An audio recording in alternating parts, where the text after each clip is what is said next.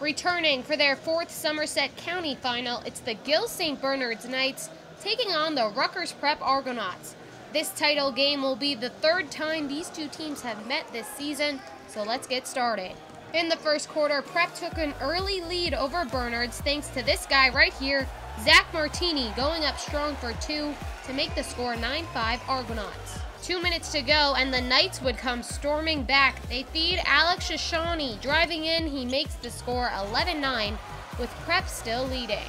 But with just seconds left in the first, it's Shoshani again for the three. He makes the score 16 15 Knights at the end of the quarter. Fast forward to the end of the first half, the Knights still holding on to that lead, but Jersey Sports Zone's former game ball winner, Trey Patterson, with the dunk, he ties the score up at 20. Before the end of the half, Gill St. Bernard's star guard Paul Mulcahy with the drive gives the Knights some momentum, but as we head into the second half, the Argonauts would have a lead over the Knights. Unfortunately for Gill St. Bernard's, in the second, the Argonauts came out strong. Jonah Charles hits the three to give Prep a six-point lead. But the Knights would catch them. Five to play in the third. Mulcahy to Shoshani for two, and the Knights take the 42-41 lead. Skip ahead to the fourth, Mulcahy with the drive, gets two for the Knights and makes the score 53 46. And the Knights would hold on for the win after a couple foul shots. The final would be 56 54, and so the Knights earned their fourth straight Somerset County title. And Paul Mulcahy led the scoring with 25 points. Jersey Sports Zone caught up with the leading scorer after the game.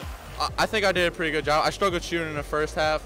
Um, on defense, I missed a couple things where I shouldn't have, but uh, I- am happy with what I did, and I'm, I'm really I'm really proud of all our guys. Defensively, I think we picked it up a lot. We started to find what the mismatches were on offense, um, but we just we just played a lot harder. We wanted it more in the second half, so I'm really I'm really proud of our guys.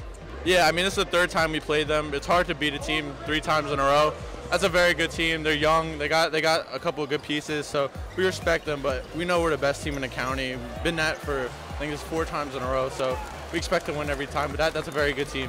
We're definitely not done. We have uh, our first day games Tuesday against Marist. Uh, so that's what we're going to be working on next.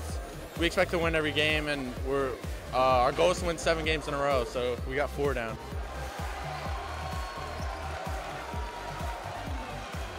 Want to see highlights and features from your favorite school? Jersey Sports Zone is entirely supported by our great sponsors. Email marketing at jerseysportszone.com to get your business in front of our loyal audience and highlights from your hometown.